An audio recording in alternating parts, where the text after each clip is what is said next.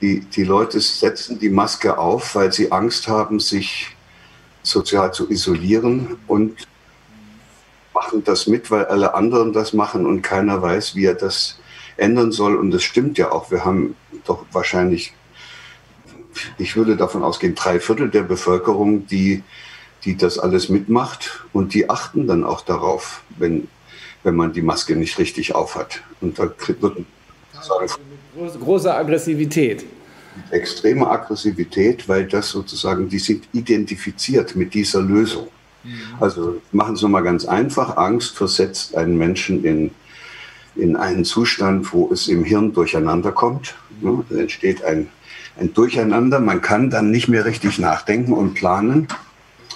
Und äh, dieses Durcheinander rutscht dann im Hirn immer tiefer und berührt dann, äh, erreicht dann auch die Bereiche, die für den Körper zuständig ist. Und dann spürt man das, wir nennen das dann im Würgegriff der Angst. Und dann geht's durch den ganzen Körper durch. Das ist ein schwieriger Zustand, den kann keiner lange aushalten. Und deshalb suchen Leute sofort nach einer Lösung. Und, und eine Lösung kann es eben sein, dass man sich an das hält, was sogenannte Experten einem dann vorschlagen oder was Behörden an, die da irgendwas zu sagen haben, was die dann vorschlagen. Und dann macht man das. Dann ist man erstmal die Angst los. Dann wünscht man sich aber, dass das natürlich auch alle anderen machen. Und deshalb wird jeder bekämpft, der das nicht mitmacht. Das ist die eine Variante die endet im Extremfall dort, wo, das sieht man ja auch manchmal, wo Leute ganz allein im Wald spazieren gehen mit einer Maske.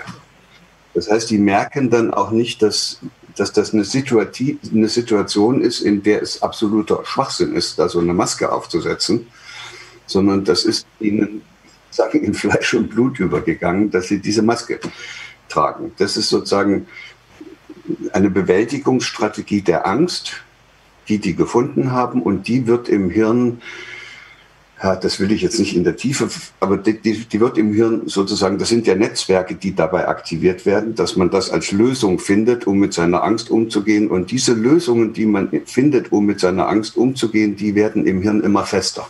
Das hängt damit zusammen, dass immer dann, wenn man eine Lösung findet, im Hirn Botenstoffe ausgeschüttet werden, die die Vernetzungen, die man benutzt hat, um diese Lösung umzusetzen, dass die dann in Anführungsstrichen gedüngt werden. So, und deshalb werden Leute, die eine bestimmte Lösung gefunden haben, die rennen dieser Lösung immer mehr hinterher. Und das, der schöne Bild, was man sich da machen kann, ist, da werden als dünnen Nervenwegen werden da allmählich Straßen und dann Autobahnen. Und auf denen sind sie dann un so, und da gibt es eben zwei Extreme dieser Angstbewältigung. Die eine besteht in der, die ich eben geschildert habe, dass eben man nach Rettung sucht und dann einen Retter findet, der meint, er wisse, wie es geht und dann hält man sich an das, wenn man das glaubt, was der sagt. Und wenn die Mehrheit der Bevölkerung das auch noch glaubt, dann wird es noch leichter und dann hält man sich an das, was da an Vorgaben vorgegeben wird, mit dem Ergebnis, dass man dann auch nicht mehr lange fragt und das auch alles für richtig hält.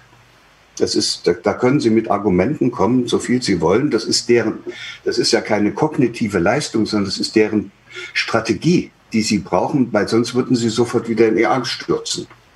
Also wenn Sie denen sagen, nehmen Sie die Maske ab, Sie sind doch hier im Wald alleine, würde der sagen, sind Sie verrückt?